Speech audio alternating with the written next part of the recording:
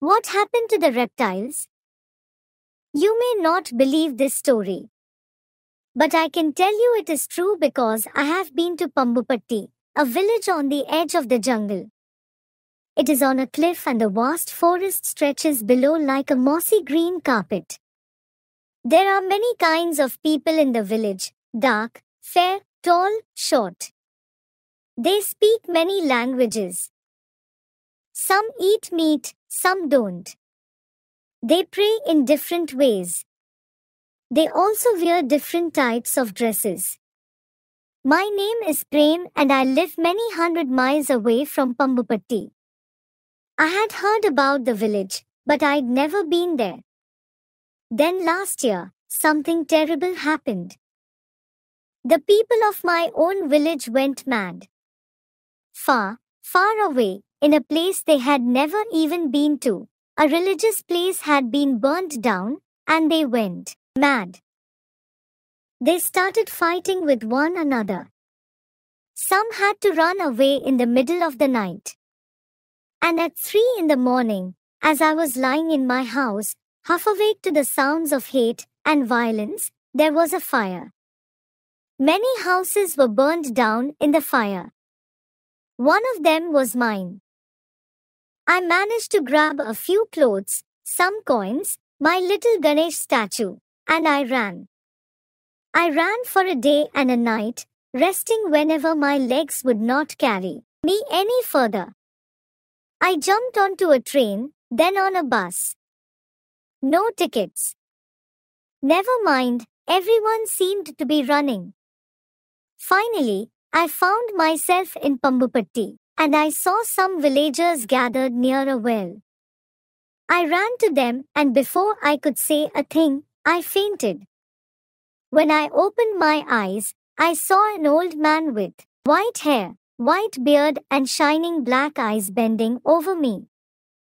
For the next few days, he looked after me, putting food in my mouth and bringing me sweet, cool water from the stream. He rubbed my feet gently and made the pain go away. Neighbors, strangers, everyone came to visit me. Tell me, grandfather, I have never seen people like the villagers here. In my village, people fight with those who pray to another god.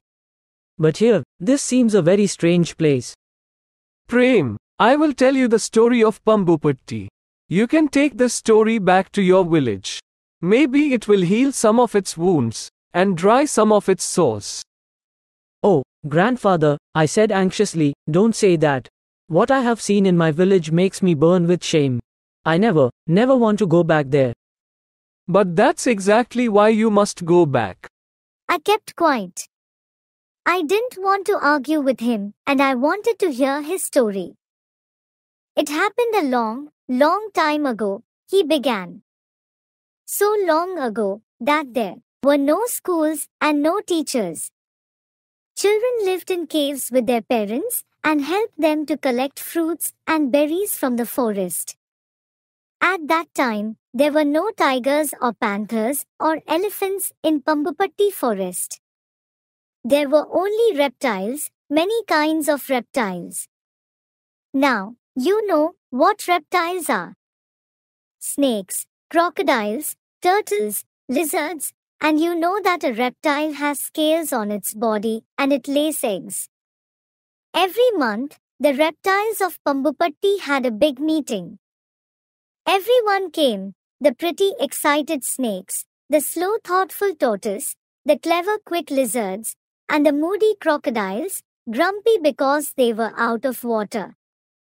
The president of these meetings was Makra, the biggest crocodile of the forest. All the animals thought he was very important. When someone is strong and powerful, you know, it is difficult not to go along with what he says or does. Now, one day, a strange thing happened. It was a week before one of the monthly meetings. Makra sent a letter to the tortoise, asking them not to come to the meeting. Ahiste, the big old star tortoise with black and yellow pictures on his shell, was very angry. What does this mean? How dare they? But not one of the tortoises had the courage to attend the meeting. They were so few, the others so many. Before the meeting, the giant Makra polished his teeth with the red flowers of the tree by the river till they sparkled. Everyone was waiting for him at the meeting place. He began. All the reptiles, even the beautiful king cobras, stopped talking. Makra continued his speech. Brothers and sisters, I have decided that we don't need tortoises. I have told them not to come today. Brothers and sisters, can you tell me why we don't like tortoises? The reptiles looked this way and that. They felt very uncomfortable. The snakes hissed anxiously, the lizards wriggled their tails, the crocodiles opened their jaws even wider. But, but,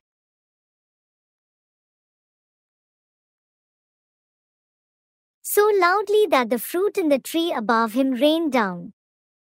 After that, no one had the courage to speak. Makra cleared his throat and showed a few more teeth. No buts. No, I think. Well, I will tell you why we don't like the tortoises. They are so slow, so stupid. They even carry their houses on their backs. Whoever heard of such a stupid thing? Now, you lizards, you live in trees. Would you ever carry a tree on your back? Would you? Small, frightened voices answered together. but, no, we would not, but, No buts. Now, listen. I have told the tortoises that they will have to move out of Pambupatti. When they go, we will have more of everything. More food, more water, more space. I want them out by tomorrow. But because they are such slow coaches, I have given them one week. By next Tuesday, we won't have a single tortoise left in this jungle. And by the following Tuesday, they were all gone. At first, the animals were sad, but then they realized that what Makra had said was true. There was more food, more water, and more space for them. But soon, a strange smell began to fill the forest. It was the smell of rot, rotting fruits on the ground, rotting animals in the river. This was what the tortoises used to eat. And even Makra had to go about holding his nose with his big claws. A month passed by and then the same thing happened all over again. But this time, it was the snakes. Makra wrote them one of his letters. They had to leave the forest and since they could move fast, they had to go in a day. Naga, the head of the snakes, pleaded for more time, but Makra would not give in. At the meeting, he silenced the others, the lizards and crocodiles, with even louder shouts and threats. Snakes are slimy, and they make funny noises. Who wants such creatures around? A weird game, no one dared to disagree with Makra and so the snakes left. For a while, the animals of the forest were happy because they had been a little afraid of the snakes. You never know when one of them might lose his temper and spit some venom at you. And it takes only a little poison to kill you, after all. A few weeks passed and the animals of the forest looked tired and fed up. The rats. Now that there were no snakes to eat them, the rats had taken over the forest. And they were having a wonderful time. They were everywhere on the trees, in the grass, in the bushes, on the ground. They ate up the eggs of the lizards and crocodiles. There would be no babies that year. Makra's own nest of eggs had been chewed up. Then Makra had a great idea. He called a meeting of the crocodiles and said, Wouldn't it be wonderful if we, the crocodiles, could have the whole jungle for ourselves? No one, but us? These lizards, now, just look at them. They have the strangest habits, and some of them even change color. How can we trust someone who is green one minute, red the next? Let's get rid of them. By now, the crocodiles were really scared of Makra. So they clapped and cheered. Makra was pleased. The lizards left the forest, some with their babies on their backs. But now, when life should have been wonderful for the crocodiles of Pambupatti, all kinds of awful things began to happen. To begin with, the rats grew bolder by the day. They became so fearless that they jumped and turned somersaults on the crocodiles' backs. And there were too many frogs. They seemed to be growing larger, and there was no one to eat them but the crocodiles. These huge frogs began to eat the baby crocodiles and the insects. Now that the lizards were gone, there were millions of them, growing bigger and nastier by the day. It was a terrible time for the crocodiles. They couldn't understand what had happened to their happy forest home. Then one day, a squeaky little voice piped up at one of their meetings. Suddenly, everyone was silent. They looked at Makra fearfully, but to their surprise, he looked nervous. He shook a rat off his tail and asked the small crocodile, I think, why, little fellow? It all began with the thought. Okay, okay, there's no need to talk so much. Makra didn't want to admit he was wrong, but it didn't matter. All the crocodiles knew now that he was not all that strong or powerful, or always right. They sent urgent messages all over the place for the tortoises, snakes, and lizards to come back to Pambupatti.